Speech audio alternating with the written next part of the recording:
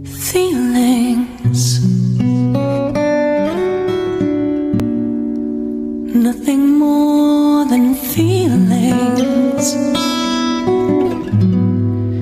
Trying to forget my